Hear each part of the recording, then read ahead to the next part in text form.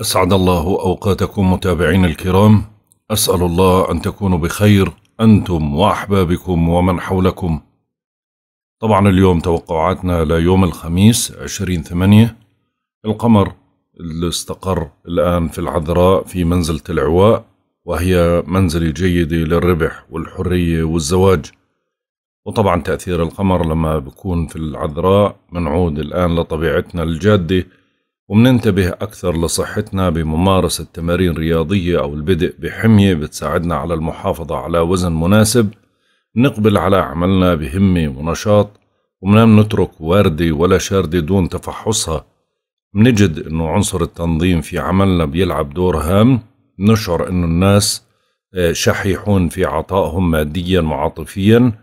ممكن نتفقد أنفسنا ونتوهم أمراض ما إلها أي وجود.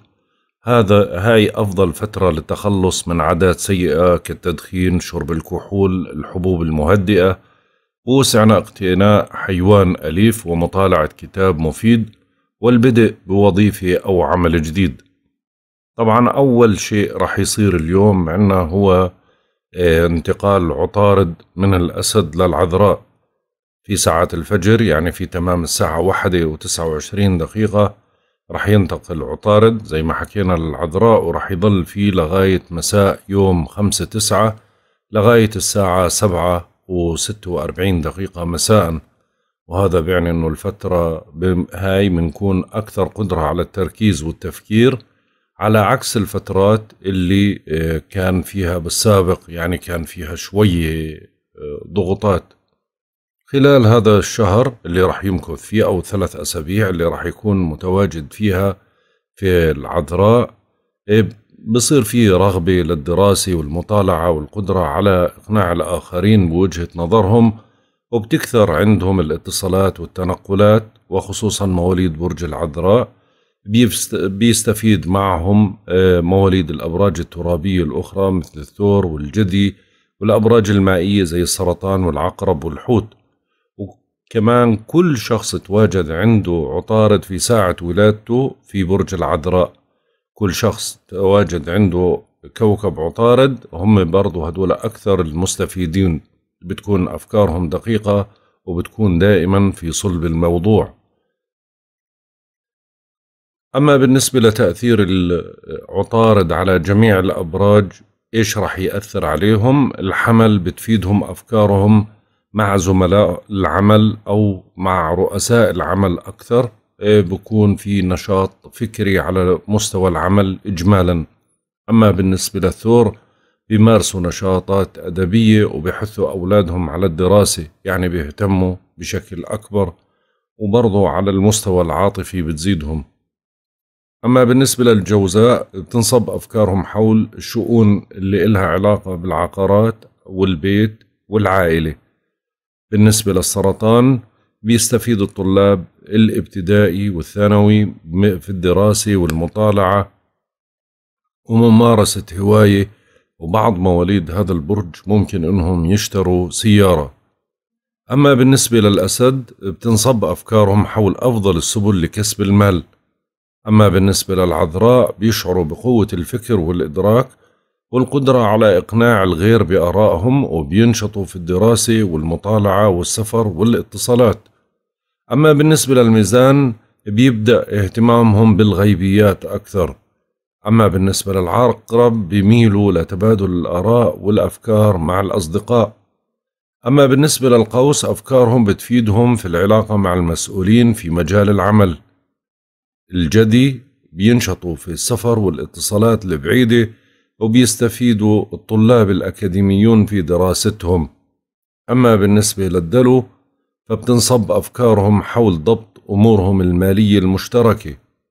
أما بالنسبة للحوت فتركيزهم الكامل رح يكون على أمور إلها علاقة بالشراكة الشراكة المالية والعاطفية وقدرة على المكاسب من هذا المجال يعني مجال فكري أو مصالحات أو إقناع. أما بالنسبة للزاوية الفلكية اللي راح تتشكل ما بعد انتقال عطارد هي زاوية تثليث إيجابية راح تكون بين القمر وأورانوس. راح تكون في تمام الساعة واحدة واثنين وخمسين دقيقة صباحا. بتعزز قدرتنا على استغلال المناسبات الاجتماعية والاستفادة منها وممكن يفاجئنا البعض بشيء غير متوقع. وممكن يصدر منا ما هو غير متوقع اتجاه البعض كذلك أما بالنسبة للزاوية التي تليها برضو هي زاوية تسديس إيجابية. راح تكون بين القمر والزهرة وهاي راح تكون في تمام الساعة أربعة وخمس دقائق صباحا. بتأجج العاطفة اتجاه الجنس الآخر وبالتالي بننجح بتعزيز العلاقة معهم. وبعطي دفعة للعاملين في المجال الفني والتجميلي والديكور فبيتحسن عطائهم وإبداعهم. وهي فترة ممتازة للي حابب يعمل تجميل أو قصة شعر أو اهتمام بشيء له علاقة باللباس. يعني هاي فترة ممتازة لكل شيء له علاقة بالتجميل. أما بالنسبة للزاوية التي تليها هي زاوية تثليث إيجابية راح تكون بين القمر والمشتري. راح تكون في تمام الساعة 2 و13 دقيقة عصرا بتوقيت جرينتش بنهتم بشكل كبير بمشاكل ومتاعب الآخرين من حولنا كأنها مشاكلنا إحنا ومنحاول إنه نساعدهم قدر الإمكان يعني زي عمل إنساني. وبتلوح الفرصة للتحصيل على مكسب مالي وبتساعدنا في تعزيز الروابط العائلية. أما بالنسبة للزاوية التي تليها زاوية تقابل سلبية بين القمر ونبتون راح تكون في تمام الساعة خمسة وخمسة عشر دقيقة مساء بتوقيت غرينتش تجعل بعض الأشخاص يجنحوا للعيش في عالم وهمي من نسج خيالهم بعيد عن الواقع وبتجعلنا غير عمليين في تصرفاتنا وبنعتمد على مشا... يعني بنعتمد في مشاعرنا على مشاعر الآخرين. أما بالنسبة للزاوية التي تليها هي زاوية تثليث إيجابية بين القمر وبلوتو راح تكون في تمام الساعة تسعة وسبعة وأربعين دقيقة مساء بتعزز قدرتنا على السيطرة على مشاعرنا وأفكارنا وبنتمكن من الغوص عميقا في نفوسنا وإحداث التغييرات المطلوبة. طبعا القمر بما أنه موجود بالعذراء معناته خلو المسار القادم راح يكون يوم 21 ثمانية راح يكون في تمام الساعة ثلاثة وستة وثلاثين دقيقة صباحا بتوقيت غرينتش وراح يستمر حتى تمام الساعة تسعة وخمسة عشر دقيقة صباحا. وراح ينتقل بعديها للميزان. أما بالنسبة لعمر القمر القمر الجديد عمره يومين في تمام الساعة أربعة وأربعة عشر دقيقة صباحا بيصبح ثلاث أيام نسبة الإضاءة خمسة في المية. أما بالنسبة لمزاج الكواكب وطباع الكواكب لهذا اليوم الشمس في الأسد حتى يوم 22 ثمانية المزاج سعيد القمر في العذراء حتى يوم 21 ثمانية المزاج سعيد. عطارد في الأسد وفي العذراء وراح يستمر فيه لغاية خمسة تسعة المزاج سعيد. الزهرة في السرطان حتى يوم ستة تسعة مزاجها سعيد. المريخ في الحمل حتى يوم تسعة تسعة بعدين بيبدأ عملية التراجع مزاجه بيميل شوي للسعادة اليوم. المشتري في الجدي بيتراجع حتى يوم 12 تسعة مزاجه منتحس. زحل في الجدي بيتراجع حتى يوم 29 تسعة مزاجه منتحس. أورانوس في الثور بيتراجع حتى يوم 14 واحد 2021 مزاجه منتحس. نبتون في الحوت بيتراجع حتى يوم 29 سبعة مزاجه ممتزج. بلوتو في الجدي بيتراجع حتى يوم 4 عشرة مزاجه منتحس. وصلنا للتوقعات اليومية. برج الحمل. طبعا بما إنه برج الحمل يعني القمر الآن انتقل صار في البيت السادس فعشان هيك شوي الأجواء راح تكون فيها نوع من أنواع الضغط عليكم. شوي نفسيا ما راح تكونوا مرتاحين الفكر عندكم مشغول ما في راحة. وبرضو الوضع الصحي شوي بكون بالفترة هاي مقلق. فعشان هيك أول شيء بدكم تنتبهوا لصحتكم وبدكم تنتبهوا لأعمالكم. أما بالنسبة للبيت الثاني طبعا الأجواء متقلبة بسبب أورانوس شوي بسبب نوع من أنواع التوترات أو التقلبات المالية أو المصاريف بالفترة هاي. وبرضه ممكن إنه بعضكم يحصل بعض المكاسب لأنه أورانوس راح يشكل زاوية جيدة فعشان هيك ممكن تحصلوا على بعض المكاسب عادة بتيجي هاي من عمل إضافي أو هبات أو مساعدات. أما بالنسبة للبيت الثالث فطبعا اليوم يعني ما فيها النشاط الكثير ما عندكم رغبة للتحرك بالعكس أنتم حابين اليوم تأخذوا شوية راحة أو اهتمام في حالكم أكثر. ممكن شوي يصير في بعض النقاشات ولكن أنت مزاجك راح يكون حاد شوي ما راح تستقبل أي نقاش أو حوار هذا اليوم وأي شيء حتى لو شيء بسيط ممكن تستاء منه ولدرجة أنه ما تقدر تضبط أعصابك أثناء تنقلاتك وحواراتك حاول أنك تكون منتبه. أما بالنسبة للبيت الرابع فاليوم يعني في بعض الاهتمام العالي راح يكون على مستوى البيت.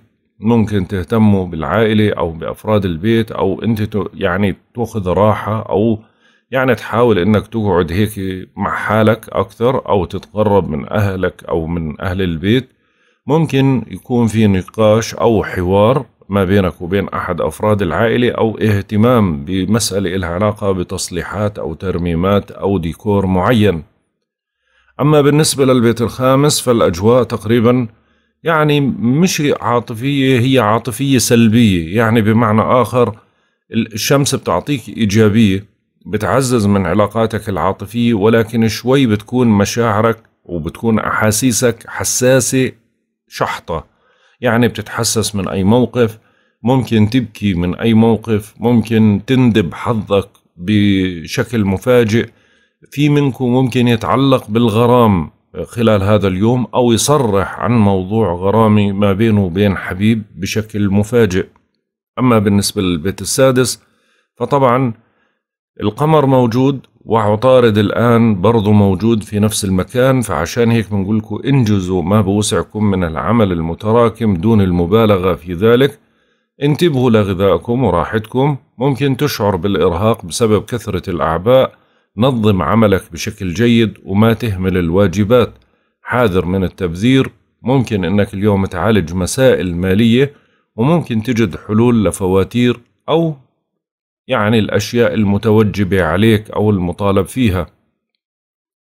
أما بالنسبة للبيت السابع فعلاقتك ما بينك وبين الشريك روتينية ما في أي شيء لا إيجابي ولا سلبي يعني بتتعاملوا على حسب طبيعتكم. أهم إشي إنكم تبتعدوا عن الحساسية وعن ردات الفعل السلبية. أما بالنسبة للبيت الثامن فالأجواء تقريبا نقدر نحكي إنه فيها شوية نشاط على مسائل لها علاقة بالأمور المالية المشتركة زي حسابات أو أمور بنكية أو أمور إلها علاقة بالبورصة أو الأسهم يعني بتلفت انتباهك هاي المسائل. أهم إشي إنك أنت تراجع حساباتك وابتعد عن التبذير. أما بالنسبة للبيت التاسع فالأجواء تقريبا يعني روتينية على مستوى الاتصالات البعيدة ما في أي شيء لا إيجابي ولا سلبي. إذا كان عندك امتحان أو عندك مقابلة اليوم بدك تركز بشكل جيد ما تعتمد على الحظوظ نهائيا. أما بالنسبة للبيت العاشر فبيت السمعة طبعا معروف أنه الجدي موجود فيه. صحيح أنه الكواكب اليوم بتشكل زوايا فيها تثليث بتعطي نوع من أنواع الإيجابية. فهي بتدعمك على مكانك في العمل أو علاقاتك بالعمل أو علاقاتك مع زملائك بالعمل. ولكن أهم شيء أنك ما تقصر بأعمالك نهائيا. أما بالنسبة لبيتك 11 فالأجواء تقريبا نقدر نحكي إنها إيجابية بتدعم من أصدقائك أو علاقتك ببعض الأصدقاء. ممكن نوع من أنواع التواصل أو الحوار ولكن أهم شيء إنك ما تدخل في شؤونهم وشوي حاول إنك تقدم إيد المساعدة لشخص. ممكن هو يطلب منك المساعدة أو تشعر إنه هو بحاجة لمساعدتك. أما بالنسبة لبيتك 12 طبعا بيت المتاعب ما زال نبتون موجود. حاول إنك تبتعد عن الأوهام حاول تبتعد عن الوساوس. يعني حاول إنك تشحن حالك بطاقة إيجابية وما تستسلم لأفكارك اللي ممكن بعد مرات إنها توديك لأشياء صحية أو أشياء لها علاقة بالعمل تكون سلبية. فعشان هيك بدك تنتبه بشكل جيد وابتعد عن الوساوس كمان مرة بحكي لك إياها. برج الثور. اليوم في أشياء مميزة رح تصير معك خلاف عن الأيام الماضية. يعني اليوم راح يكون في اهتمام عالي في أي شيء له علاقة بالتجميل أو له علاقة بالهواية أو له علاقة بالمرح أو له علاقة بتغيير الجو. يعني أنت بتبحث عن نوع من أنواع السعادة. ما تستسلم لأي شيء ممكن أنه يأثر على مزاجك اليوم ويخليك شوي تكون كئيب. أما بالنسبة للبيت الثاني فالأجواء تقريبا بنقدر نحكي فيها نوع من أنواع الإيجابية على المستوى المالي فممكن تحقق بعض المكاسب المالية ولكن تتزايد المصاريف بزيادة. فعشان هيك ممكن شوي يصير في التباس أو ترتبك من مسألة مالية معينة أو تظهر نوع من أنواع الحسابات اللي شوي تكون مقلقة بالنسبة لإلك. أما بالنسبة للبيت الثالث أنت اليوم نشيط كثير وعندك رغبة بالحركة عندك رغبة بإنجاز كثير من المهام. فعشان هيك برضو مشحون بطاقة وعندك قدرة عالية جدا للإقناع وعندك سرعة بديهة ممتازة. يعني اليوم في نشاط حلو راح يكون على أكثر من مستوى. أما بالنسبة للبيت الرابع على مستوى البيت يعني تقريبا الأجواء مربكة من ناحية عمل أو مسؤولية أو ديكور أو ترتيب أو تعزيل أو جهد منزلي بتطلب منك نوع من أنواع الجهد.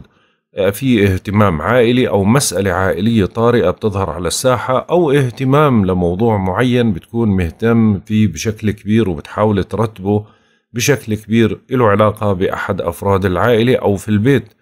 أما بالنسبة للبيت الخامس فطبعا القمر وعطارد الآن دخلوا على العذراء فبتشتد رغبتكم في التقرب من أحبائكم وتعزيز العلاقة معهم. ما بيتخلى الحظ المالي عنكم. حاول ترتيب الأوضاع اللي تراجعت في الأيام السابقة وصحح الانطباعات عنك. اثبت للمشككين طاقتك وما تستسلم للضغوط قبل تحقيق الإنجاز. أهم إشي أنك اليوم هذا ثابر قدر الإمكان لتحقيق الغايات. أما بالنسبة للبيت السادس فالأجواء ما زالت يعني ما فيها الشيء اللي بيخوف ولكن حاول إنك ما تهمل أعمالك إنجز أعمالك بالكامل رتب أمورك بشكل جيد اهتم برضو بصحتك شوي ما ترهق حالك كثير. وحاول إنك هيك تخلي علاقتك جيدة ما بينك وبين زملائك أو رؤسائك بالعمل. أما بالنسبة للبيت السابع فالأجواء تقريبا يعني روتينية ما فيها أي شيء. هي صحيح فيها نوع من أنواع الإيجابية فيها بتعمل نوع من أنواع التوافق الجيد ما بينك وبين الشريك أو ما بينك وبين الزوج ولكن حاولوا أنكم تستغلوها للمصالحة أو لتلطيف الجو. أما بالنسبة للبيت الثامن معني بعض المسائل المالية اللي ممكن تظهر على الساحة أو تنشغل في بعض الحسابات أو الأرقام أو أشياء لها علاقة بفواتير أو دفعات أو مصاريف وممكن هاي المصاريف تكون إما استشفائية أو بيتية.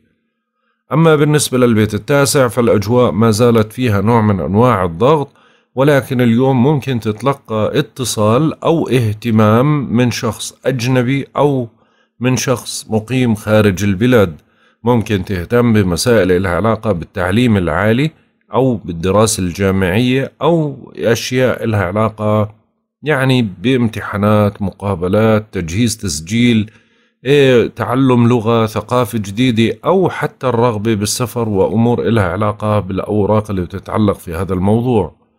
أما بالنسبة للبيت العاشر فالأجواء على مستوى بيت السمعة تقريبا يعني بنقول لك إنه ما تحاول إنك تشكك في سمعتك خلال هذا اليوم استغلها للدفاع عن السمعة وتعزيزها وبرضه لإثبات جدارتك أثناء تعاملك مع زملائك ورؤسائك بالعمل.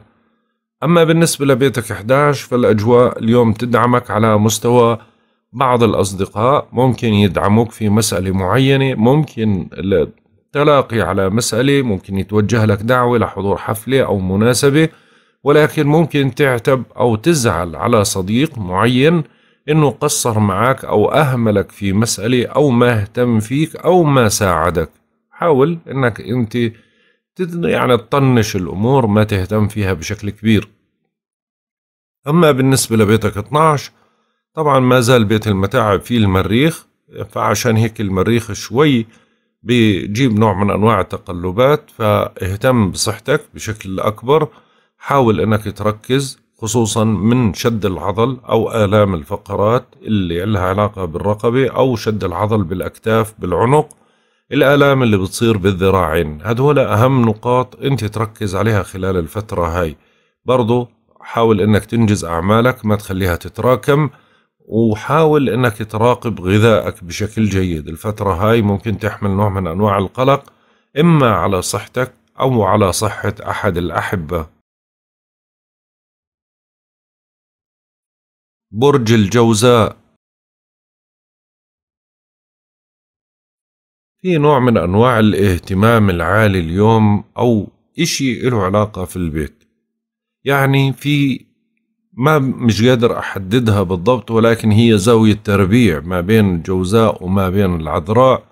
الأغلب إنه في يعني في نكد في في قصة معينة في آه، يعني ممكن تتحسس من موقف معين له علاقة في البيت. حاول إنك تبعد عن الجو عن المشاحنات هاي عشان اليوم يكون بالنسبة لك إيجابي. حاول إنك ما تخلي أي شيء يأثر عليك لأنه اليوم نفسيتك حساسة جدا. أما بالنسبة للبيت الثاني فطبعا اليوم الزهرة ممكن إنها تدعمك في مسائل لها علاقة بوضع مالي. أو في مكاسب تجيك من عمل إضافي أو مستردات أو هبات أو عمل جديد أو شيء ممكن تتحرك فيه لتحصيل أموال بتخصك. أهم إشي إنك تبتعد عن المصاريف لزيادة. أما بالنسبة للبيت الثالث فطبعا الشمس موجودة. صحيح بتعزز بتعطيك قدرات على التنقلات على الاتصالات على الحوارات. بتدعمك في أمور إلها علاقة بالإقناع أو بالحوار. عندك سرعة بديهة عالية جدا لهاي النقاط. أهم شيء إنك تستغلها بشكل إيجابي. بس إذا كان عندك امتحان أو مقابلة حاول تركز بشكل جيد وما تعتمد على الحظوظ. أما بالنسبة للبيت الرابع فالأجواء اليوم جيدة شيئا ما. بوسعكم إدخال أي تعديل مطلوب على مسكنكم. بتجدوا تعاون من أفراد العائلة. أهم شيء إنك تهدئ من روعك وتوقف عن التفكير قليلاً. ممكن تقلق بشأن أحد أفراد العائلة أو من أحد أفراد العائلة. أهم شيء أنك ما تختلق المشاكل ولا تخالف الرأي العام وما تناقش بجفاء بل بليونة تامة. أما بالنسبة للبيت الخامس فالأجواء على المستوى العاطفي تقريبا روتينية ما في أي شيء لا إيجابي ولا سلبي.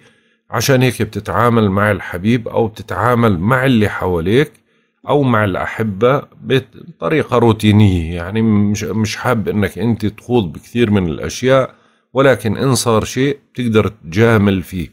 أما بالنسبة للبيت السادس فالأجواء تقريبا ممكن إنها تحمل بعض الأشياء الجيدة اللي لها علاقة بالعمل أو اتفاق عمل أو اتفاق على مسألة لها علاقة بملف معين ممكن تنجز بعض الأوراق أو بعض الملفات خلال هذا اليوم وبرضه ممكن يكون لك بعض الاهتمام بشؤونك الصحية. أما بالنسبة للبيت السابع فالأجواء على مستوى بيت الشراكة تقريبا فيها نوع من أنواع ردات الفعل السلبية فعشان هيك انتبه من أي نقاش أو حوار ما تحاول أنك أنت تفرض رأيك أو تعصب أو تعلي صوتك أثناء النقاشات. كون لين كون مرن وابتعد عن الأجواء المشحونة. أما بالنسبة للبيت الثامن فما زالت الأمور المالية أو أمور لها علاقة بالوضع المالي هي المربكة. فعشان هيك أنت معظم المشاكل اللي بتصير معك حاليا هي ضغط مالي بالأغلب. فعشان هيك ممكن تقلق بشأن مالي أو مطالبة مالية أو وضع مالي معين خلال هذا النهار.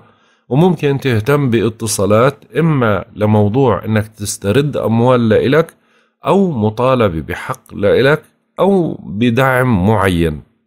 أما بالنسبة للبيت التاسع فالأجواء تقريبا روتينية على مستوى الاتصالات البعيدة ما في أي شيء لا إيجابي ولا سلبي خلال هذا النهار. في بعضكم ممكن يتلقى اتصال أو معلومة أو خبر عن أشخاص أو عن شخص خارج البلاد يزعجه. ولكن هاي نسبة قليلة من مواليد برج الجوزاء. أما بالنسبة للبيت العاشر تقريبا نقدر نحكي إنه الشكوك بتحوم كل هاليوم على إشي له علاقة بالسمعة وإله علاقة بزميل بالعمل أو رئيسك بالعمل أو مشكلة لها علاقة بالعمل هيك قلق منها أو متوسوس منها أو شوي متردد من بعض النقاط اللي إلها علاقة بالعمل أو بما ذكرنا. أما بالنسبة لبيتك 11 فالمريخ طبعا موجود وهذا بشوية اليوم راح يعمل نوع من أنواع شد الأعصاب عندك إما من موضوع بتعلق بصديق أو خبر بيجيك عن صديق أو طريقة تعامل ما بينك وبين صديق ممكن بالأيام الماضية كان في تعامل معين ولكن راح تكتشف إنه هو إما إنه استغلك أو هو بيحاول إنه يضغط عليك بشكل سلبي أو إنه بيحاول إنه يتدخل في شؤون حياتك. ما تكون أنت آه، آه، الشماعة اللي بتحمل عليها الأخطاء أهم نقطة. أما بالنسبة لبيتك 12 فطبعا أورانوس موجود اللي بيجيب لك مفاجآت فعشان هيك المفاجآت راح تكون فيها شوية سلبية. انتبه أهم إشي لصحتك انتبه لعملك انتبه لراحتك وبرضه ممكن تحمل لك قلق مفاجئ على صحة أحد الأحبة. برج السرطان. طبعا اليوم بالنسبة للبيت الأول ما شاء الله راح يكون أو إن شاء الله كمان ما شاء الله وإن شاء الله راح يكون قوي جدا. آه راح تكون النفسية غير راح تكون مشحون بطاقة عالية جدا. آه عندك رغبة للتحرك وللاتصالات ولإقامة أشياء كان صعب إنك تن أو تقيم أو تعملها بالفترة الماضية. آه يمكن تدخل في أشياء لها علاقة بالتجميل أو بالاتصالات على الأغلب. أما بالنسبة للبيت الثاني فالأجواء تقريبا يعني بتجيب لك بعض الفرص أو بعض الأشياء اللي إلها علاقة بدعم مالي بيجيك عادة من عمل إضافي أو مستردات هبات إيه، أشياء إلها علاقة ب يعني أشياء مالية جيدة احتمالية إنه اليوم بعضكم يحقق منها بعض المكاسب. أهم إشي إنكم تتحركوا بالاتجاه الصحيح اللي فيه مال وبتقدروا إنكم تحصلوا من خلاله مال. أما بالنسبة للبيت الثالث فطبعا بتنشطوا اليوم في السفر والاتصالات. هاي فترة مناسبة لاجتياز امتحان.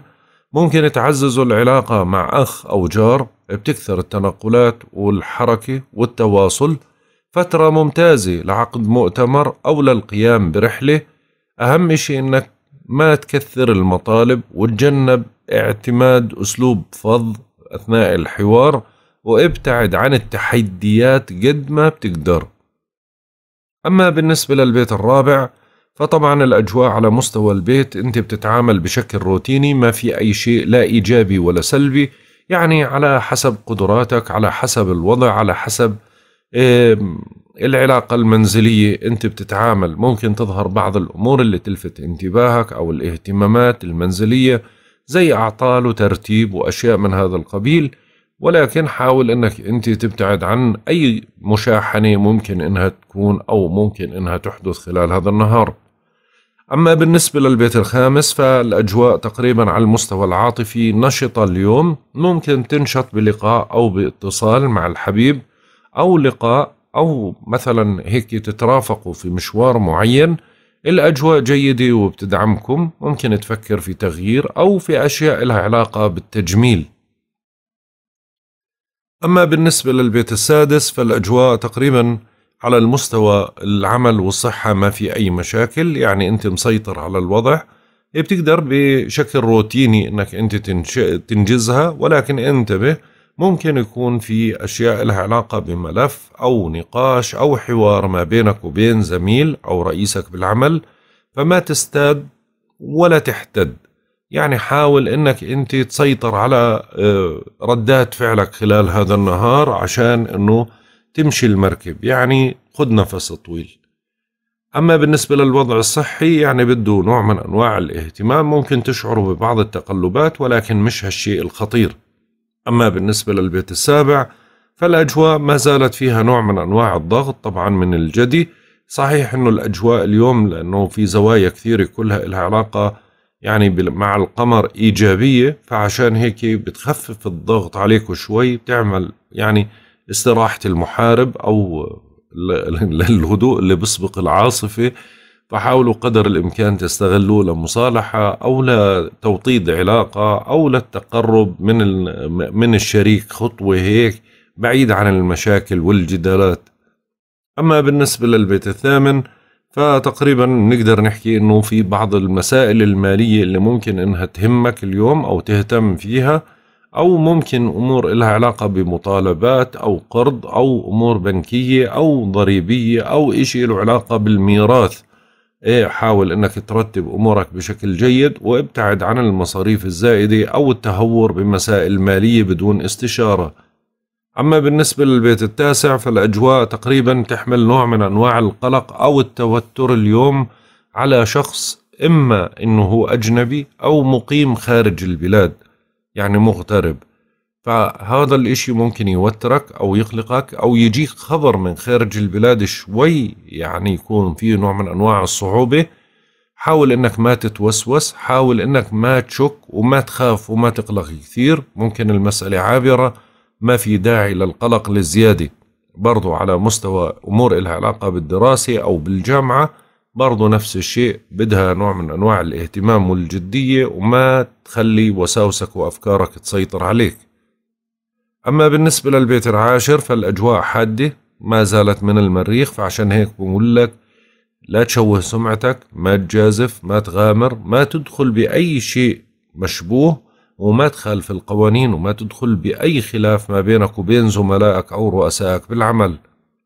أما بالنسبة لبيتك 11 فممكن اليوم يكون لك اتصال أو تواصل مفاجئ ما بينك وبين أحد الأصدقاء ممكن ينفتح حوار أو نقاش على مسألة معينة حاول تضبط أعصابك وما يكون لك ردة فعل سلبية أو تستاء من تصرفاته. أما بالنسبة لبيتك 12 فالأجواء ما فيها أي قلق الأجواء إيجابية وداعمة لك على مستوى العمل على أو إنجازاتك للعمل أو على المستوى الصحي. برج الأسد طبعا الآن القمر صار في البيت الثاني وعطارد كمان انتقل للبيت الثاني وهذا يعني انتقاله راح يكون في نوع من أنواع الإيجابية. أسأل الله أنه تكون الإيجابية هاي قريبة. لا لا.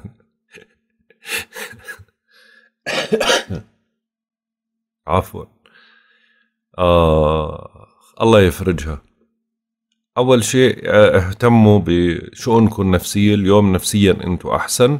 عندكم يعني شوية أمل بس ما تخلوا الشكوك والوسواس يسيطر عليكم أو الإحباط. والله بضحك على حالي. معلش اعذروني يعني. ما الأسد يعني لازم أحكي عن حالي وعنكم وأنا أنا شاعر في مواليد الأسد كثير يعني بالفترة هاي.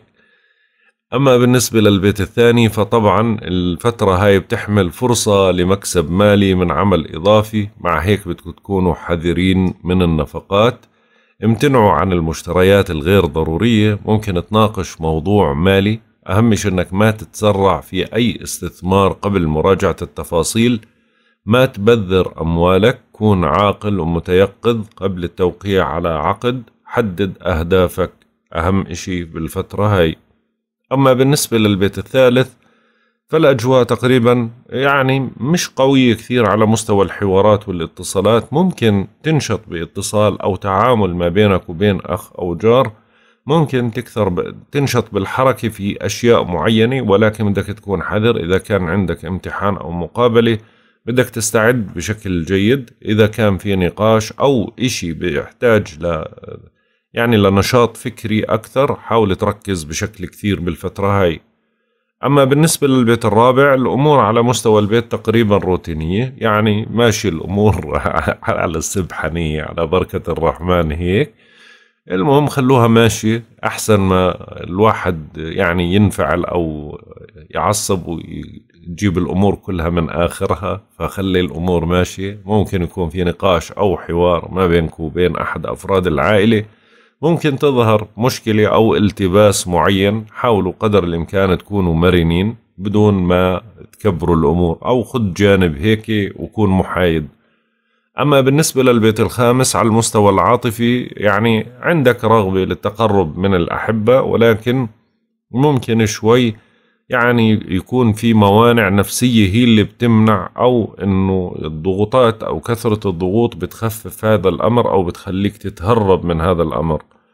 إيه، الأجواء فيها نوع من أنواع الإيجابية وللمرافقة جيدة أو مرافقة الحبيب أو مساعدة الحبيب لأنه أنت أساسا يعني حتى لو منيل الدنيا فوق راسك وهو حد طلب منك مساعدة راح تساعده. أما بالنسبة للبيت السادس فطبعا بنقول لك هنا يعني الصحة ديروا بالكم على الصحة. اهتموا بصحتكم. ما تهملوا صحتكم وما تهملوا عملكم برضو. بس الصحة أهم شيء إنكم تحافظوا عليها بالفترة هاي. أي واحد فيكم بشعر بأي شيء غير طبيعي أو مش اعتيادي يعني ما يهمل نفسه ويراجع طبيبه. أما بالنسبة للبيت السابع فتقريبا الأجواء بنقدر نحكي يعني روتينية طريقة التعامل ما بينك وبين الشريك أو ما بينك وبين نصفك الآخر ما بين الأزواج. يعني بتتعاملوا بشكل روتيني ما في أي شيء لا إيجابي ولا سلبي أو إنه بمعنى آخر أنت ماخذها جنب لحالك هيك. أما بالنسبة للبيت الثامن فالأجواء ممكن يكون في بعض الاهتمامات على مسائل إلها علاقة بالوضع المالي المشترك. ممكن قلق من مسألة معينة أو عبء من مطالبة أو مصاريف أو التزامات عالية جدا. وعادة هاي الالتزامات بتيجي إما أنها مصاريف بيتية أو مصاريف استشفائية أو علاجية. فعشان هيك هون القلق اللي بيكون كبير دائما أو بضغط الأسد ماليا لأنه هاي النقطتين هدول خط أحمر بالنسبة له. فحاول قدر الإمكان ترتب وضعك. ممكن يعني تجيك مساعدة أو دعم معين أو تفكر في أمور لها علاقة بقرض أو تمويل معين.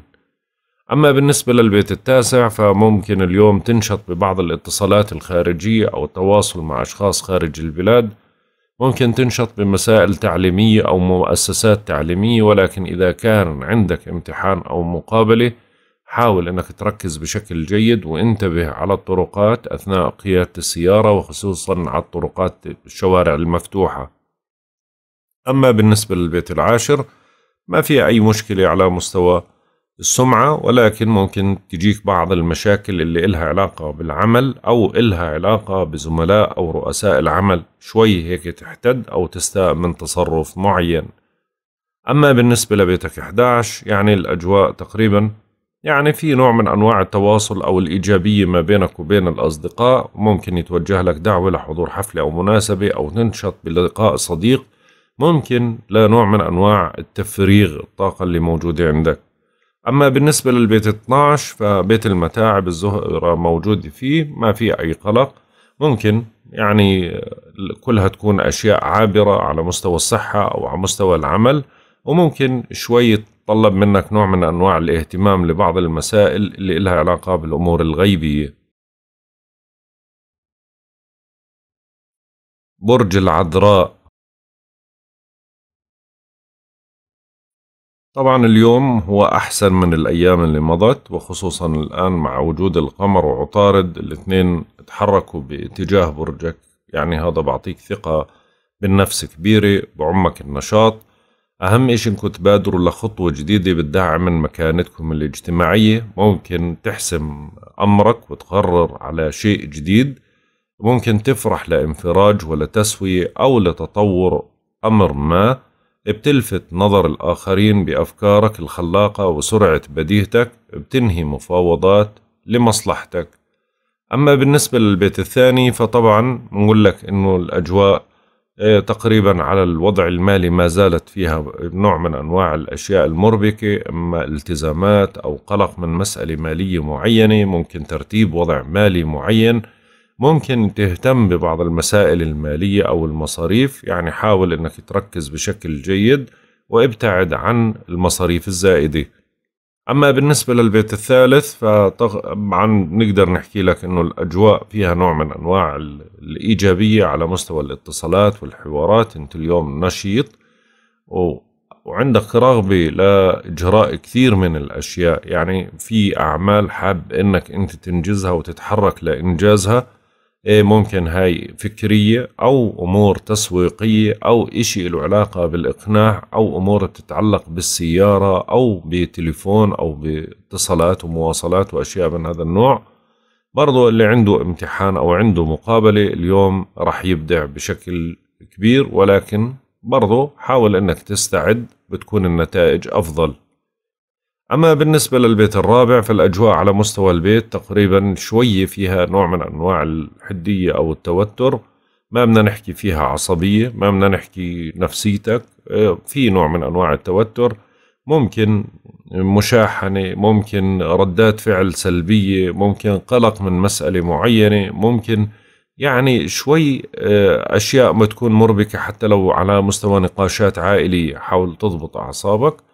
ما بدنا نقول لك ابتعد يعني اضبط أعصابك بس. بدناش نقول لك ما تسويش خلافات ولا مشاكل ولا هاي الأمور.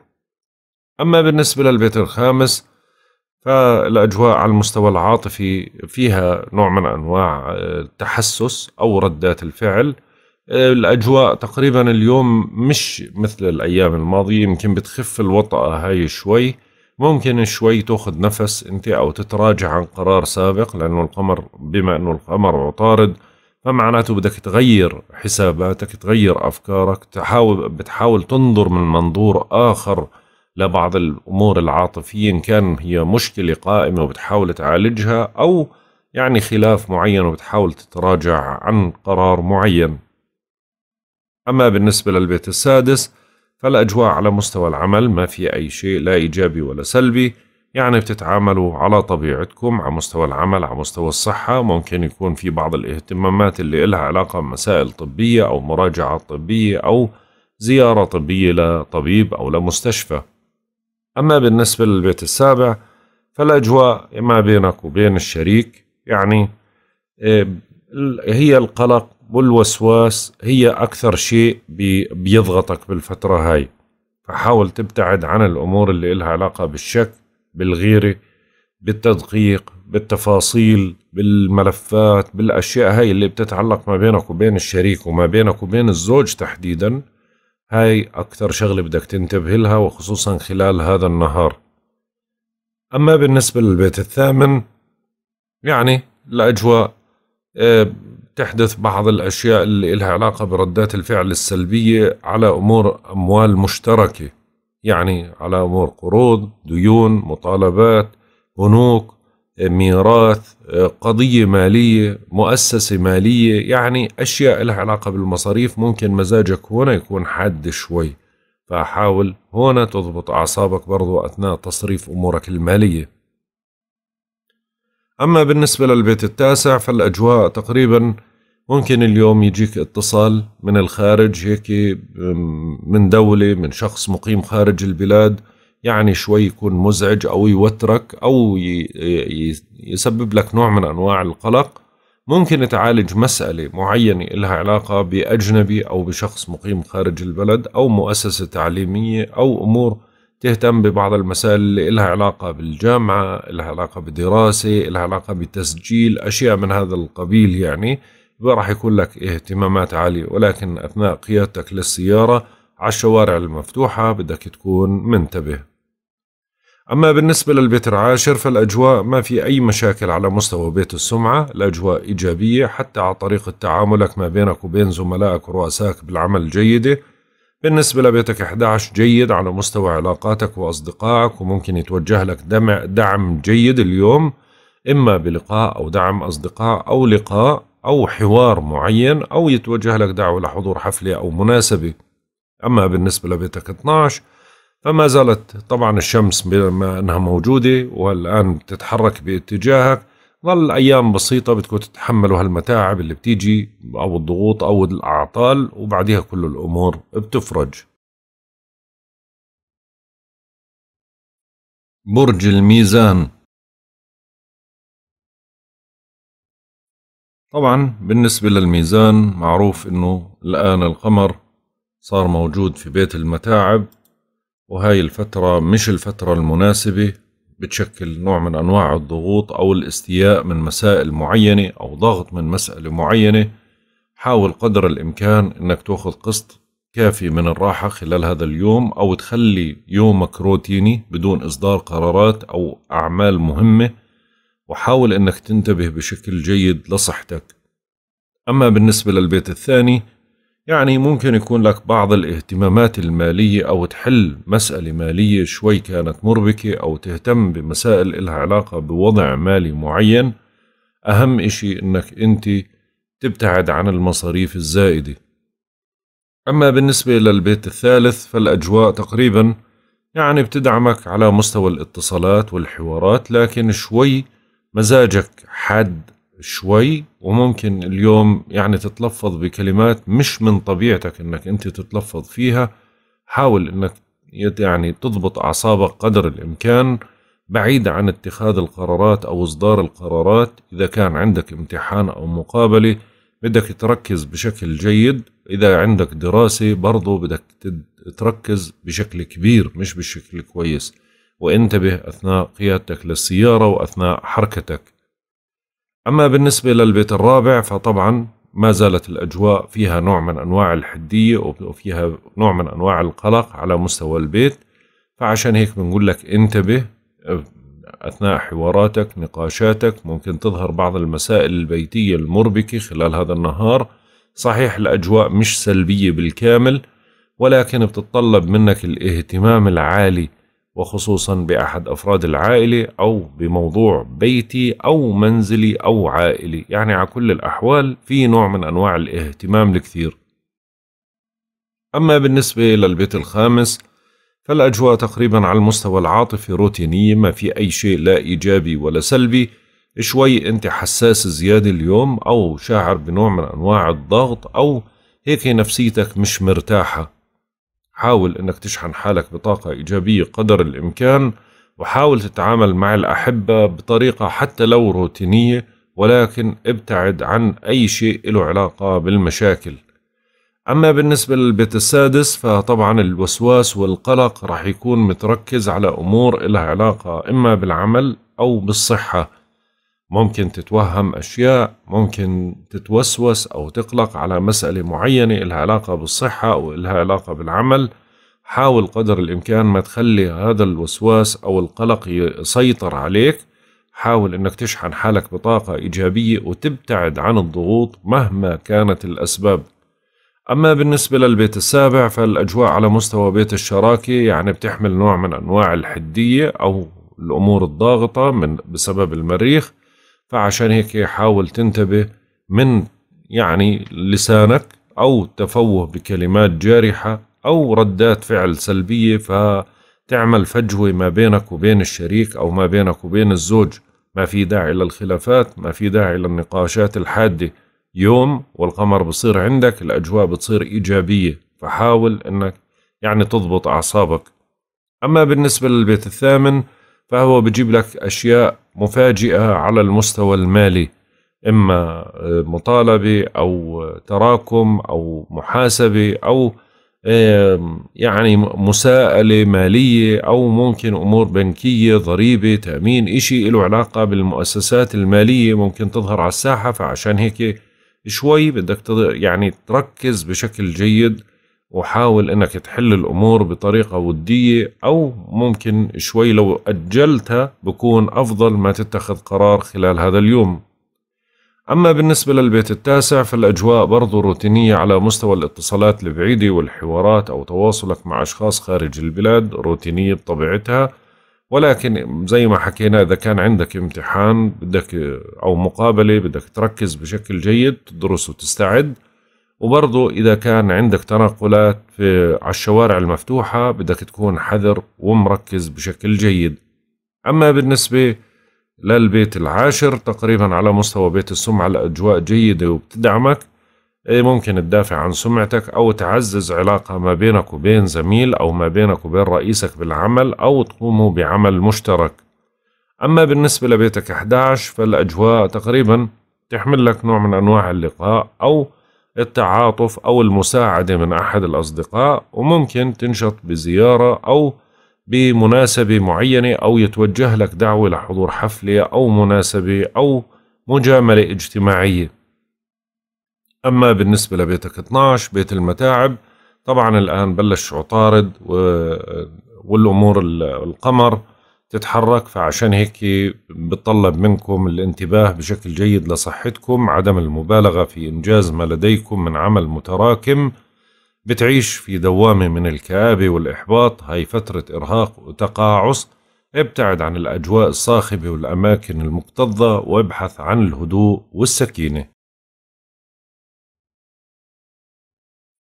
برج العقرب. طبعا بالنسبة للبيت الأول يعني الأجواء نقدر نحكي إنه فيها أشياء إيجابية اليوم. آه، ما زالت عندك قدرة على إنجاز كثير من المهام رغبة بالتحرك والاتصالات عالية جدا. آه، نشاط اجتماعي عالي جدا برضو خلال هذا النهار. فعشان هيك حاول تستفيد وحاول تنجز كل إشي ضروري ومهم خلال هذا النهار. قبل ما يصل القمر لبيت متاعبك للميزان فراح تمر بفترة شوي صعبة. عشان هيك بدك تتهيأ لهاي الأمور وتحاول إنك تنجز كل شيء ضروري خلال اليوم ضروري. أما بالنسبة للبيت الثاني فالأجواء يعني تقريبا بنقدر نحكي إنها آه، فيها نوع من أنواع الاهتمام ببعض المسائل المالية. ممكن تحقق بعض الأمور المالية خلال هذا النهار ولكن المربك أكثر اللي هي المصاريف أو الدفعات اللي ممكن تتزامن أو تتراكم عليك. فحاول قدر الإمكان تبتعد عن المصاريف الزائدة حاول ترتب وضعك المالي بحجم المال الموجود معك مش بأكثر وما تعتمد على الأيام القادمة إنها راح يكون فيها دعم لإلك. يعني ما بتعرف. أما بالنسبة للبيت الثالث فالأجواء ما زال فيها هيك نوع من أنواع العصبية. يعني الأجواء العامة حادة. بسبب طبعا آه، إحنا حكينا إنه الجدي وهدول ثلاث كواكب موجودة كبيرة بتتراجع. فهذا بخليك دائما متنشن آه، عصبي حاد ردة فعلك سلبية. آه، ممكن اليوم يكون لك شوية نقاش مع أخ أو مع جار. أو مع أحد آه، أفراد العائلة.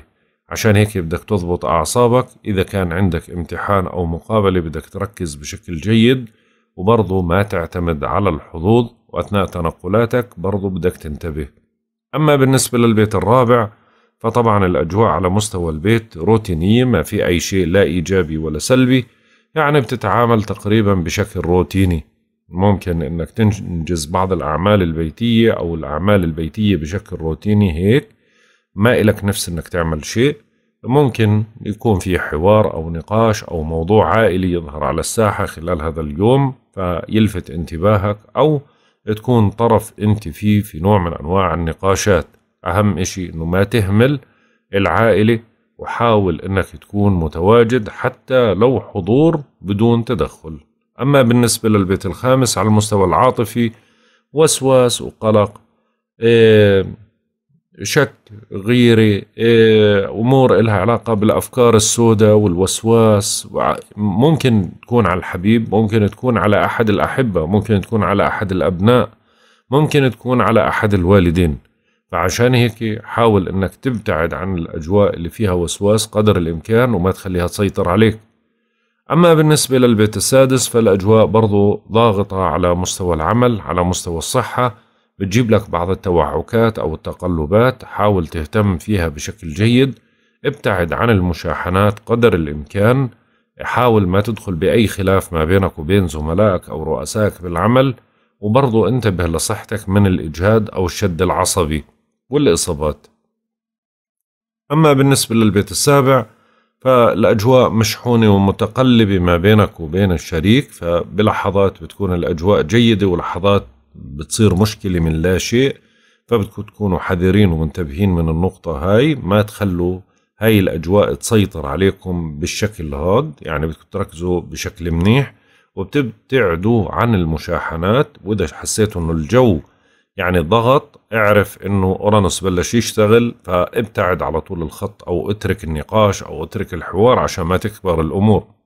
أما بالنسبة للبيت الثامن يعني الأجواء تقريبا روتينية ما في أي شيء لا إيجابي ولا سلبي على المستوى المالي يعني بتتعامل على حسب طبيعتك. أما بالنسبة للبيت التاسع فالأجواء بتنشط بأمور إلها علاقة بالاتصالات والحوارات والتواصل مع أشخاص خارج البلاد أو أمور إلها علاقة بالمؤسسات التعليمية أو ترتيب وضع مالي معين له علاقة بأقساط له علاقة بدراسة بدورة بشخص خارج البلاد بشخص أجنبي. يعني هاي الاهتمامات اللي اليوم راح تكون متركزة عليها آه، الأمور عندك. أما بالنسبة للبيت العاشر فالأجواء تقريبا تدعمك على مستوى علاقاتك على مستوى عملك. ممكن تنجز بعض الأعمال بطريقة مشتركة يعني بالتشارك وممكن يكون لك نوع من أنواع التعامل الجيد ما بينك وبين زميل أو رئيسك بالعمل. أما بالنسبة لبيتك 11 طبعا بوسعكم اليوم تعزيز صداقاتكم منكم ممكن يحقق أمنية بمساعدة صديق ومنكم ممكن يشارك في مناسبة سعيدة. ممكن يتطلب منك خوض تجربة اجتماعية جديدة ومهمة تتاح لك الفرصة لغربلة ومعرفة الصديق من العدو. أهم شيء أنك تظهر انفتاح واهتمام. أما بالنسبة لبيتك 12 فالأجواء روتينية على مستوى العمل وعلى مستوى الصحة وممكن يعني شوي اليوم تفكر براحتك أكثر ما تفكر إنك أنت تنجز أعمال برج القوس طبعا بالنسبة للبيت الأول تقريبا نقدر نحكي إنه اليوم مش يعني مش لمصلحتك أو مش بالمكان المناسب لإلك. يعني شوي ممكن هيك تظهر بعض النقاشات أو الحوارات أو الأشياء اللي ممكن هيك نفسيا تأثر عليك أو ممكن بدون أي سبب. فجأة هيك تتوتر وفجأة أنت تنشحن بطاقة سلبية فحاول قدر الإمكان يعني تلهي حالك أو تنشغل بأي شيء بيجيب لك طاقة إيجابية. أما بالنسبة للبيت الثاني ممكن يكون لك بعض الاهتمامات المالية اليوم ولكن ما راح تكون بالشكل القوي. ممكن بعضكم يحصل مكاسب من عمل إضافي أو مستردات أو هبات ولكن المصاريف ممكن إنها تتزايد خلال هذا اليوم أو يكون لك متطلبات مالية. أما بالنسبة للبيت الثالث فالأجواء تقريبا جيدة على مستوى النقاش والحوار والاتصالات. ممكن تتواصل بشكل إيجابي ويكون داعم لإلك. ولكن بدك تنتبه أثناء إذا كان عندك امتحان أو مقابلة أو مناقشة إيه برضو ركز أثناء الحوار بدون انفعال وعصبية. أثناء تنقلاتك بالسيارة برضو بدك تنتبه. ممكن يكون اليوم في إشي له علاقة بأخ أو جار. أما بالنسبة للبيت الرابع فالأجواء على مستوى البيت بتحمل القلق والوسواس الأكبر يا إما أنه أنت قلق من مسألة معينة أو متوسوس من مسألة معينة أو حاسس أنه في تآمر أو في اجتماع أو في حوار معين بدور حواليك من خلال البيت حاول أو من أفراد العائلة حاول قدر الإمكان إنك ما تعيش الوهم هذا ما تعيش الوسواس هذا اشحن حالك بطاقة إيجابية ابتعد عن الضغوط قدر الإمكان. حاول أنك أنت تركز بشكل جيد في كل الأمور العائلية. أما بالنسبة للبيت الخامس فالأجواء تقريبا نقدر نحكي أنه ممكن تحمل لك لقاء أو تواصل ما بينك وبين الحبيب خلال هذا النهار. ممكن تظهر بعض الخلافات أو النقاشات أو تستاء من تصرف أحد الأحبة اللي هو أحد الأبناء أو أحد الوالدين. أو الحبيب نفسه ولكن الأهم أنك تضبط أعصابك. أما بالنسبة للبيت السادس فالأجواء زي ما حكينا بالأيام الماضية أنها بتحدث مفاجآت إلها علاقة إما بالعمل أو بالصحة فبدك تكون مركز على الجهتين. وحاول إنك إذا حسيت إنه في إشي مفاجئ يعني تركز فيه أكثر وتعطيه اهتمام أكثر وما تهمله نهائيا لأنه ممكن يكون مهم. وأورانوس بي يعني بترصد لك. بده يخليك توقع في مشكلة مثلا لها علاقة بالعمل أو بالصحة. أما بالنسبة للبيت السابع فالأجواء تقريبا روتينية على مستوى أو على طريقة التعامل ما بينك وبين شركائكم أو ما بينك وبين الأزواج إيه، أو شركاء المال. برضو ابتعدوا عن القضايا القضائية قدر الإمكان بالفترة هاي وإذا عندكم قضية قضائية بدكم تركزوا فيها وفي حيثياتها بشكل جيد. أما بالنسبة للبيت الثامن فالأجواء تقريبا نقدر نحكي إنها داعمة على مستوى الأموال المشتركة فمن خلالها ممكن تهتم بمسألة العلاقة بقرض أو دين أو سلفة أو دعم معين أو أمور إلها علاقة في بنك أو في مؤسسة مالية أو ممكن أمور إلها علاقة بالميراث.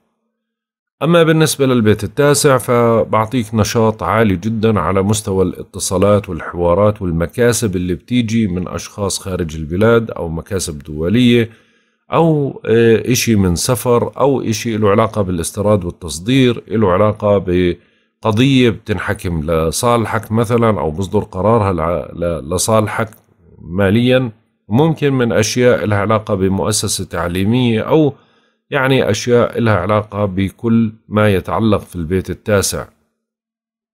أما بالنسبة للبيت العاشر فالأجواء على مستوى يعني بيت السمعة الآن آه، عطارد صار متواجد وبرضه القمر موجود فعشان هيك الفترة هاي مناسبة للي بيبحث عن عمل آه، وبرضه بتنجح آه، بالدفع بمصالحك. وبتحافظ على إنجازاتك القائمة. ممكن تتلقى عرض أو تجد نفسك في موقع مهم. أهم إشي إنك تكون عند حسن الظن تجنب الانفعال والقرارات المرتجلة والتصرفات العدائية وحاذر من الحوادث. أما بالنسبة لبيتك 11 فالأجواء تقريبا إيجابية على مستوى أصدقائك ولقاءاتك. ممكن يحمل لك لقاء أو تواصل أو اتصال أو موضوع بتعلق بأحد الأصدقاء. ممكن أحد الأصدقاء يبادر في مسألة معينة أو يساعدك في مسألة معينة أو يعني يكون في تلطيف للأجواء بشكل إيجابي ما بينكم. حاول قدر الإمكان تشحن حالك بطاقة إيجابية وتستفيد من هاي الطاقة. اللي ممكن تفرغ من الضغط اللي موجود جواك اتجاهها. أما بالنسبة لبيتك 12 بيت المتاعب فالأجواء روتينية ما في أي شيء لا إيجابي ولا سلبي فعشان هيك بتنجز أعمالك بشكل روتيني واهتمامك بصحتك بشكل روتيني برضه. في منكم ممكن يهتم بصحة أحد الأحبة أو مراجعة دورية لدكتور أو لمستشفى. برج الجدي طبعا اليوم الطاقة عالية جدا. يعني اليوم بتعوض الأيام اللي مضت أو الفترة اللي مضت. شوي بتشعر إنه نفسيا أنت مرتاح وعندك رغبة لإنجاز كثير من المهام. نشاط عالي وفكريا يقظ تماما. فعشان هيك عندك قدرة على أنك تنجز كثير من الأعمال خلال هذا النهار. فلازم تتحرك وتنجز وتحقق الأشياء اللي أنت مرتبها. أما بالنسبة للبيت الثاني فالأمور المالية يعني بشكل روتيني ما في أي شيء لا إيجابي ولا سلبي. ممكن تهتم ببعض المسائل اللي إلها علاقة بوضع مالي معين دفعات ترتيب أشياء ممكن مستردات مالية هبات مساعدات أشياء من هذا القبيل ولكن ابتعد عن المصاريف الزيادة أما بالنسبة للبيت الثالث فالأجواء بتعمل لك نوع من أنواع الوسواس أو القلق أو بتحس إنه ما عندك ثقة في حالك أو إشي بيحبطك هيك بخليك تتونون من بعض المسائل. حاول ما تخليها تسيطر عليك بالعكس أنت اليوم عندك طاقة كبيرة وقدرة على إنجاز كثير من الأعمال ما تتردد. حاول أنك تبادر بالخطوة اللي أنت كنت متردد منها بالفترة الماضية. ممكن اليوم تحقق أشياء إيجابية أو تقنع أشخاص بوجهة نظرك أو تروج لعمل معين اللي عنده امتحان أو مقابل اليوم راح ينجز بشكل جيد ويحقق إنجازات رائعة وممكن يكون لك تعاون أو تعامل ما بينك وبين أخ أو جار. أما بالنسبة للبيت الرابع فالأجواء طبعا ما زالت فيها نوع من أنواع التوتر على مستوى البيت أو قلق له علاقة بمسألة في البيت أو من شخص أو من أحد أفراد العائلة. ممكن اليوم ينفتح نقاش أو حوار على مسألة معينة تتطلب منك نوع من أنواع الاهتمام لزيادة. أهم إشي إنك تشحن حالك بطاقة إيجابية ترتب الأوضاع بشكل جيد. ممكن تهتم بمسائل إلها علاقة بالبيت أو بالعقار هي ترتيب ديكور مشتريات أثاث أشياء من هذا القبيل. أما بالنسبة للبيت الخامس فالأجواء تقريبا من أورانوس هي اللي بتحدث بعض الأشياء المفاجئة اللي إلها علاقة بالحبيب أو بالأحبة. اليوم طبعا ما راح يكون هالضغط الكثير لأنه شوي يعني وضع القمر والاتصال اللي ما بينه وبين أورانوس يعني بعطي نوع من أنواع الإيجابية فبجيب لك مفاجآت جيدة. فممكن تستغلها إما للتقرب من الحبيب أو للسؤال عنه أو تحاول أنك تجس نبض آه، الوضع على أساس أنه بلكي أنه تحسنت الأجواء. وممكن يكون لك نوع من أنواع الاهتمام بأحد الأبناء أو أحد الوالدين. أما بالنسبة للبيت السادس فالأجواء تقريبا روتينية على مستوى العمل وعلى مستوى الصحة يعني ما في أي شيء لا إيجابي ولا سلبي. ممكن تنضغط بملف معين أو بحل مسألة لها علاقة بإدارة عمل معين وممكن شوي يكون لك اهتمام على المستوى الصحي ولكن الطفيف مش الإشي المهم الكبير. أما بالنسبة للبيت السابع فهو بدعمك على مستوى بيت الشراكة أو بيعزز من علاقتك مع بينك وبين الزوج أو الزوجة أو شريك المال. يعني الأجواء فيها نوع من أنواع تلطيف الأجواء وممكن اليوم يكون في خبر صار أو إشي له علاقة بفرحة معينة ممكن تكون اليوم أو تكون في الأيام القادمة ولكن اليوم بصلك خبر عنها. أما بالنسبة للبيت الثامن فالأجواء تقريبا فيها تحركات كثيرة على مستوى الأموال المشتركة.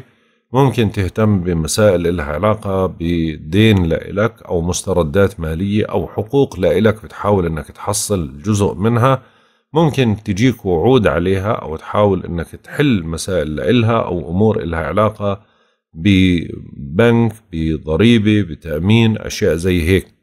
أما بالنسبة للبيت التاسع فطبعا القمر وعطارد الآن موجودات في بقوة فعشان هيك بتنشطوا في مجال الدراسة والسفر والاتصالات لا سيما البعيدة بتشعروا بقوة العاطفة وتجاوب تجاوب أحبائكم معكم.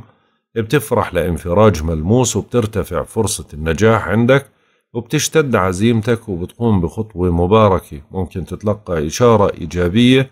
هاي فترة مناسبة لالتقاط أنفاسك بعد العواصف.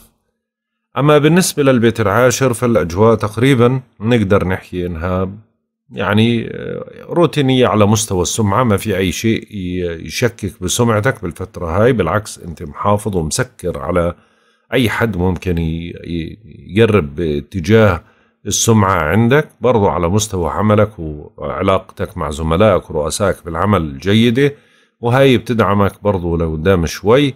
حاول بس إنك تنجز أعمالك وما تتغيب أو تتأخر عن دوامك خلال هذا اليوم. أما بالنسبة للبيت العاشر فالأعمال المشتركة جيدة خلال هذا النهار. ممكن تنجز بعض الأعمال المشتركة بمساعدة زميل أو رئيسك بالعمل. أجواء فيها نوع من أنواع الإيجابية. أما بالنسبة لبيتك 11 فهو بدعمك على مستوى أمور إلها علاقة بالأصدقاء فممكن يتوجه لك دعوة لحضور حفلة أو مناسبة أو لقاء أو جمعة معينة. أما بالنسبة لبيتك 12 فما في أي قلق أو خوف من بيت المتاعب بالعكس الأجواء جيدة ولكن ممكن تحمل قلق على صحة أحد الأحبة. برج الدلو.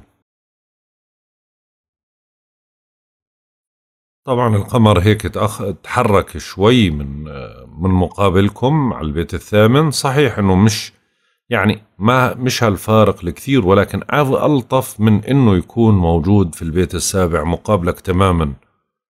فعشان هيك اليوم نفسيا أنت شوي عندك رغبة لحل بعض الأمور أو إنجاز بعض الأمور. إيه، عندك يعني هيك متشجع أو رغبة لإنجاز إيه، أشياء كان صعب إنك تنجزها في الأيام الماضية. أما بالنسبة للبيت الثاني فالأجواء على المستوى المالي ما تخلي القلق أو الوسواس يسيطر عليك ماليا لأنه ما, ما في أبواب راح تفتح ما في مجال للرزق سكرت الدنيا هاي, هاي الأمور التشاؤمية ما بتعرف الرزق من الله إمتى بيجيك وكيف بيجيك. حاول إنك تسعى وقدم اللي عندك وشوف إنه النتائج كيف بتكون. ولكن ما ترضخ للوسواس على الوضع المالي خلال هذا النهار. أما بالنسبة للبيت الثالث فالأجواء تقريبا يعني بتنشط بالحركة بتنشط بالاتصالات بتنشط بالحوارات اليوم. إيه، صحيح الأجواء فيها هيك حدية ولكن حاول أنك قدر الإمكان تضبط أعصابك. انتبه أثناء قيادتك للسيارة أثناء حركتك. إذا كان عندك امتحان أو مقابلة حاول أنك تركز بشكل جيد. وبرضه ممكن تحمل لك هاي نوع من أنواع التعاون أو التقابل أو إشي مشترك بيجمع ما بينك وبين أخ أو جار. أما بالنسبة للبيت الرابع فالأجواء على مستوى البيت تقريبا نقدر نحكي إنه جيد اليوم. صحيح إنه أورانوس موجود بجيب مفاجآت ولكن اليوم مفاجآته ممكن تكون مش كثيرة أو ما بتيجي على كل مواليد برج الدلو فعشان هيك شوي الأمور آه، فيها نوع من أنواع الراحة أو الاستراحة آه، على مستوى البيت أو على مستوى الاهتمامات العائلية ممكن إذا كان في أي شيء له علاقة بس بترتيب وتصليح واهتمامات روتينية عادي منزلية. أما بالنسبة للبيت الخامس على المستوى العاطفي الأجواء روتينية برضو ما في أي شيء لا إيجابي ولا سلبي بتتعاملوا على حسب طبيعتكم مع أحبائكم مع أبنائكم مع والديكم. ما في أي شيء آه، يعركس عليكم أو يخرب عليكم يعني على حسب طبيعتكم تتعاملوا بعواطفكم. أما بالنسبة للبيت السادس فالأجواء تقريبا نقدر نحكي أنها جيدة على مستوى العمل. ممكن تفتح لك مجالات جيدة خلال هذا النهار أو عمل آه، جديد أو ممكن مسألة آه، رد على مسألة أنت كنت مقدمها أو معاملة أو شيء يكون إيجابي. برضو ممكن أنك تهتم بمسائل إلها علاقة بالوضع الصحي وتكون إيجابية ولصالحك أو تحسن بوضع صحي معين أو نتيجة يعني أنت منتظرها تطلع وبرضو تكون إيجابية. أما بالنسبة للبيت السابع فالأجواء تقريبا يعني الشمس ما زالت موجودة يعني بتضغطك شوي على مستوى الشراكة بتعمل نوع من أنواع التقارب ما بينك وبين الزوج والزوجة. آه، ممكن إنه اليوم يعني مش هالأجواء الإيجابية الكاملة يعني صحيح إنه في من مواليد برج الدلو ممكن يصير خلاف ما بينه وبين زوجته اليوم ولكن إنه مش هالخلافات القوية أو الخلافات الكبيرة يعني بتكون سوء تفاهم ساعة ساعتين وبتنتهي الموضوع. فما تكبروا الأمور وما تخلوها تأخذ حيز كثير من تفكيركم. أما بالنسبة للبيت الثامن فبتعيدوا تنظيم أموركم المالية المشتركة والفرصة متاحة لمكسب مالي. مع هيك بدكم تخففوا من النفقات المتصاعدة. اطلب رأي الشريك قبل التمسك بقرار ممكن تنشغل بمسائل مالية وهموم صحية وعائلية. باستطاعتك بحث موضوع قرض أو تمويل ما تهمل التفاصيل وخصوصا التفاصيل الدقيقة. أما بالنسبة للبيت التاسع فالأجواء اليوم آه، روتينية على مستوى الاتصالات البعيدة أو تواصلك مع أشخاص خارج البلاد أو تعاملك مع أجانب أو حتى الدراسة الجامعية أو حتى على مستوى التعليم. يعني كلها تقريبا روتينية تتعامل على حسب طبيعتك. أما بالنسبة للبيت العاشر فالأجواء يعني بتدعمك شيئا ما على العمل المشترك أو التعاون أو أحد الأشخاص ممكن يدعمك بمسألة معينة وممكن برضو آه، إشي له علاقة بمساعدة زميل بالعمل أو رئيسك بالعمل أو شيء له علاقة بعمل جديد أو بتحاول إنك توصل طلبات لعمل جديد. أما بالنسبة لبيتك 11 فالأجواء تقريبا برضو تحمل نوع من أنواع التلاقي مع بعض الأصدقاء خلال هذا اليوم. أو ممكن مساعدة أو ممكن حوار أو ممكن يتوجه لك دعوة لحضور حفلة أو مناسبة أو لقاء الأصدقاء هيك تحاول تغير أجواء. أما بالنسبة لبيتك 12 فما زال الجدي يعني بكواكبه اللي بتتراجع فيه فهو بيعطل بعض الأمور اللي إلها علاقة بالعمل وبضغطك شوي أو بعض مواليد الدلو بضغطهم صحيا. انتبهوا لصحتكم وراحتكم وغذائكم. وخذوا قسط كافي من الراحة. برج الحوت. طبعا القمر صار مقابلكم تماما.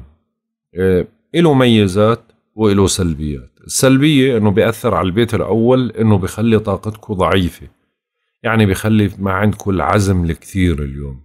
ممكن تشعروا ببعض الإرهاق أو التوتر. سهل جدا استفزازكم برضو. ديروا بالكم من النقاط اللي أنا ذكرتها. أما بالنسبة للبيت الثاني فالأجواء تقريبا يعني بتحمل بعض الأشياء اللي إلها علاقة بالمصاريف أو الدفعات أو قلق على وضع مالي معين أو اهتمام بمشترى شيء معين أو مصاريف معينة. يعني حاولوا تديروا بالكم على أموالكم برضو من المصاريف الزايدة. ما في داعي للتبذير بالفترة هاي. أما بالنسبة للبيت الثالث فالأجواء تقريبا نقدر نحكي إنه فيها إيجابية حتى من مفاجآت أورانوس. ممكن ويفاجئك بشكل إيجابي على مستوى تنقلاتك اتصالاتك. ممكن آه، تنشط باتصال معين أو يجيك اتصال بشكل مفاجئ يكون في خبر معين. ممكن يكون عندك مقابلة أو حوار معين. إذا كان عندك امتحان بدك تركز بشكل جيد عشان تستفيد أكثر. حاول إنك إذا عرض عليك موضوع له علاقه بدورة أو له علاقه بمناظرة له علاقه بهاي الأمور برضو الفترة بلشت تتحرك الأمور لصالحك اللي بتدعمك حاول إنك أنت تستغلها. أما بالنسبة للبيت الرابع فالأجواء تقريبا على مستوى البيت روتينية ما في أي شيء لا إيجابي ولا سلبي يعني بتتعامل على حسب طبيعتك. بالعكس أنت أفكارك مش منصبة كثير على البيت أنت أفكارك كلها منصبة على أشياء ثانية. ولكن حاول إنك ما تهمل بيتك. انجز اللي أنت بتقدر عليه من أعمال منزلية أو أعمال مهمة لها علاقة بالبيت أو بالعائلة. حاور وناقش وبطريقة لبقة. صحيح أنت بتنتظر مسألة لها علاقة مرتبطة بالبيت أو بالعائلة ولكن مش وقتها لسه ما اجت ما جاش الوقت تاعها. أما بالنسبة للبيت الخامس على المستوى العاطفي الأجواء جيدة جدا فبتدعمك الحظوظ بشكل قوي إيه، عاطفيا ونفسيا وبالحظ أيضا.